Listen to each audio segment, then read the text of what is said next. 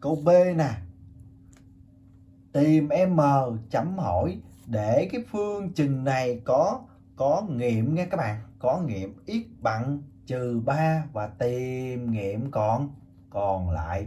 Câu này quá dễ nha mọi người. Thì x bằng trừ 3 là nghiệm thì các bạn chỉ cần thay x bằng trừ 3 vào vào một được chưa? Một đâu à? Một đây nè các bạn. Chỗ nào có bạn, chỗ nào có ít, các bạn thay bằng một giúp lợi nha. Rồi, vậy tương đương nè.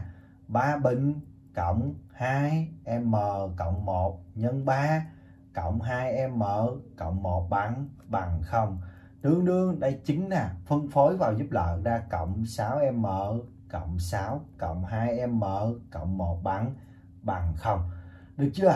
Và các bạn rút gọn nè, đây dưới đây ra bao nhiêu à? Ra là 10 um, ra là 8m đây đây đây ra là 10 16 bằng bằng 0 chuyển với đổi dấu nhân chia cộng trừ.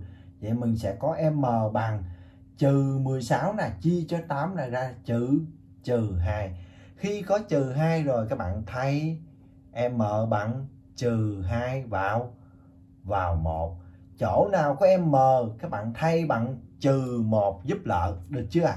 Chia xin lỗi, trừ hai nha các bạn, trừ hai. Vậy tương đương nè x bình nè x bình nè, cộng 2 trừ 2 cộng 1 x cộng 2 nhân, trừ 2 cộng 1 bằng bằng 0 rồi tương đương x bình, đây ra bao nhiêu à ra trừ 2x đây ra bao nhiêu à trừ 3 bằng bằng 0 xác định giúp là A nè, B nè và C.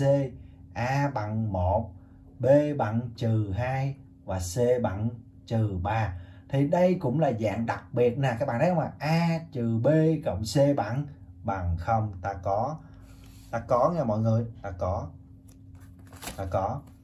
A trừ B cộng C bằng bằng 0 vì nè 1 trừ cho trừ 2 nè, cộng cho trừ 3 bằng bằng không. các bạn bấm máy tính kiểm tra giúp đỡ có đúng không nha? Khi gặp này thì ta có phương trình có hai nghiệm phân biệt. X1 bằng x2 bằng. Thì một nghiệm là trừ 1 và một nghiệm là trừ C chia chia A. Trừ C nè, chia A vậy là ra 3 sau đó các bạn kết luận vậy, x ờ, vậy là S bằng trừ 1 3 và các bạn hãy bấm lại máy tính để kiểm tra xem có đúng không nha các bạn. Bấm giúp lại nè on mode 53 1 bằng, trừ 2 bằng, trừ 3 bằng. Được chưa? Bằng bằng.